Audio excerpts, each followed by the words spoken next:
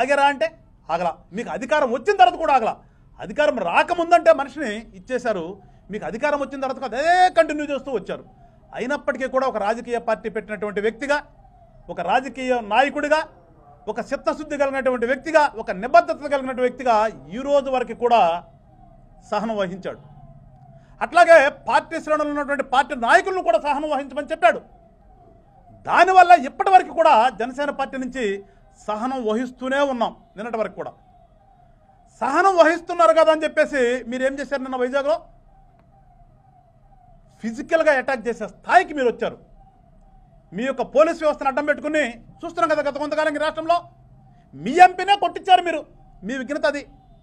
సాక్షాత్ మీ యొక్క ఎంపీనే మీరు మీ పోలీసుల ద్వారా తీసుకొచ్చి కొట్టించిన ఘనత మీది. ఎట్లా ఉంటుంది మరి? మీ తల్లి ఎక్కడుంది ఈ రోజున? మీ చెల్లి ఎక్కడుంది ఈ రోజున? తెలియదా జనానికి? అంటే మీ తల్లి చెల్లె నీ నుంచి రక్షణ కోరుకుంటూ వెళ్ళిపోయి ఎక్కడ బతుకుతున్నారే?